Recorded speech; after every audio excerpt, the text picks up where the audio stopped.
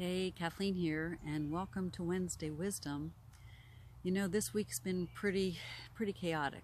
A lot of unrest since the homicide of George Floyd and the issue of racism and white privilege, with the resulting protests, and uh, and it's really set us all in a state of of um, frenzy. So I thought for the card for this week uh, I, I asked the universe, I said, with this issue, uh, please uh, give us a card that can give us some guidance in terms of how we can manage or deal with this situation. And so I pulled the Sweat Lodge Purification. It's a number two card, as you can see. Well, at first I'm like, whoa, number two, first of all, is relationships. How perfect is that? And and then I started thinking about the purification and I'm like, oh, okay, I get this. So this is what came to me. First of all, let's understand the purpose of the sweat lodge. The purpose of the sweat lodge ceremony is to purify or cleanse the mind, body, and spirit of any rust, call it rust, that has accumulated in our spirit during our life's journey.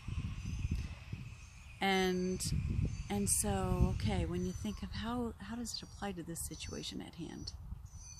All right, well, in Jamie Sams' book, The Sacred Path Cards, she talks about the fourth world for the last 60,000 years when polarization existed amongst races and nations and creeds and we are still dealing with this today. This is all about people who look different than you do, or, you know, because they look different than you do, as an example, they um, become suspicious, or that their beliefs are different than yours, and therefore they're a threat. So this has been going on for a long, long time. And we all have beliefs and beliefs can be changed, but there's a knowing that the Native Americans had, which is a gift.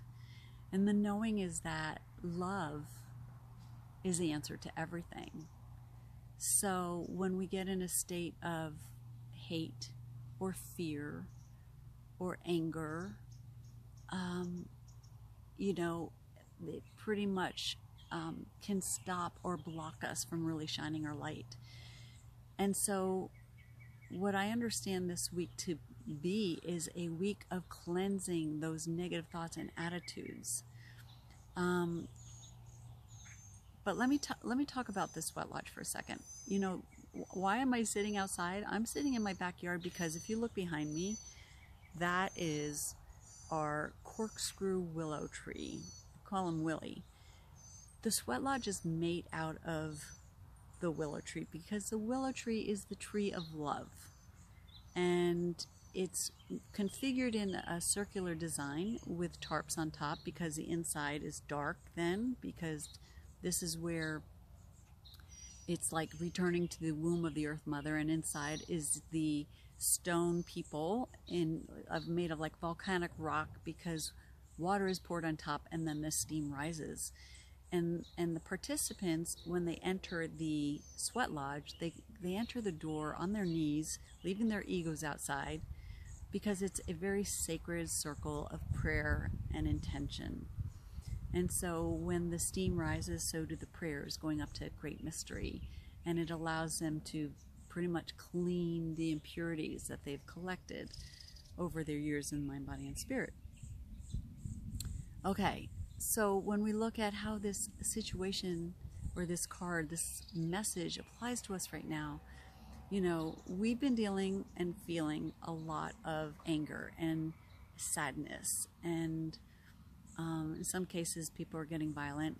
Uh, we don't want that. But um, it's, it's a week then to let go of the negativity, the negative attitudes, the fear, the sadness, the anger and cleanse it so that we can take some right action loving, right action. You know, allow the new life force to enter where we can get clear on what it is that we can do next uh, in a loving way. You know, how can we resolve this issue? Let's look at, you know, um, speaking our minds uh, in a loving way, um, assertively, of course, but not violently, and and standing up for what we believe in in terms of Black Lives Matter. So, you know, that's what we need to do. We need to get out of the muck, cleanse mind, body, and spirit, let it go, let go of the negativity, and uh, let's start creating that peace and harmony uh, that we want to exist in the world for all of creation. So that is our message for this week. So this is Kathleen McGinley from Heart Rock, he, Heart Rock Healing. Have a great week, and uh, I'll check back with you next week for some more Wednesday wisdom. Namaste.